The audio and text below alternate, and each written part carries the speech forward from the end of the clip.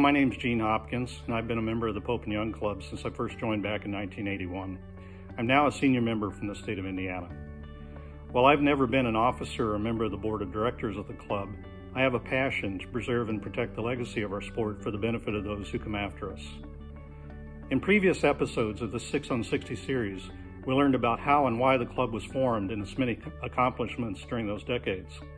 Now, as I tell the story of the sixth decade for our club, we should put some emphasis on how the club was, has preserved and protected that legacy through its world-class museum. After spending the first 40 years making history and building a legacy, it was time for the club to preserve and protect that legacy for future generations to enjoy and learn from. This actually began back in 1980 when Joe St. Charles convinced his father Glenn to reach out to Glenn's network of friends and former business associates to begin collecting items and memorabilia from the early days of our sport. The original St. Charles Museum of Bowhunting was located inside the family's business called Northwest Archery in Seattle, Washington. But as Glenn began to think more and more about the long-term options for the museum, he approached Fred Asbell, who was then the Pope and Young president, around 1998, about selling and gifting items to the club.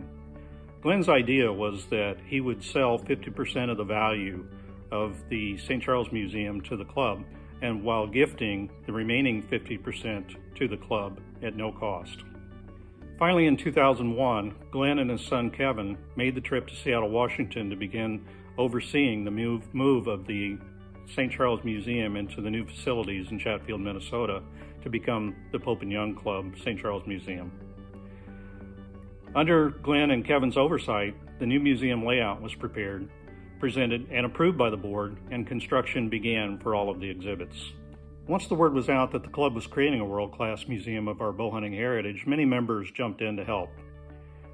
Donations of money and of memorabilia came in from many different sources. Don donations and items came in from people like Marvin Judy Klinke, Herman and Judy Kovar, and Ron and Susie Shear, and Art Young's grandson, Chuck Young.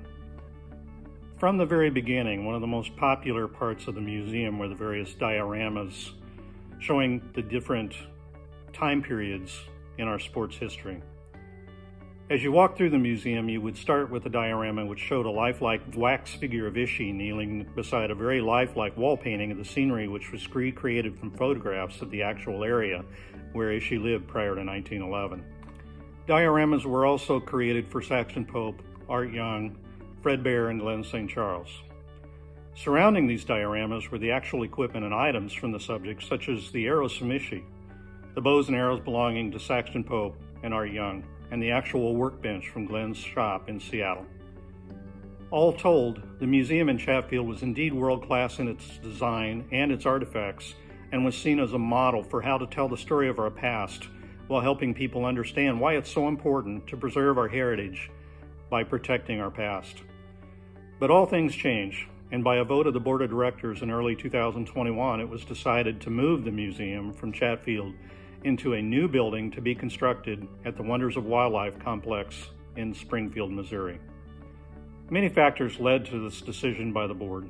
The building in Chatfield was in need of significant investment of funds to keep the maintenance up to date. But mo the most critical aspect of the decision to move was the ability to reach as many people as possible with the fantastic exhibits and the story of the wonderful history of our sport. Figures show that over a million people each year visit the Wonders of Wildlife Complex, and by reaching more people, we can expect the museum to be a significant factor in, in increasing recruitment into our sport and growing our club. Every change is difficult, and the board of our club has made these changes based upon what they perceive is best for the future of our museum for our club, and for the bow hunting lifestyle, which is so important to all of us. Thank you for your commitment to our great sport. I hope to see you around a campfire someday soon.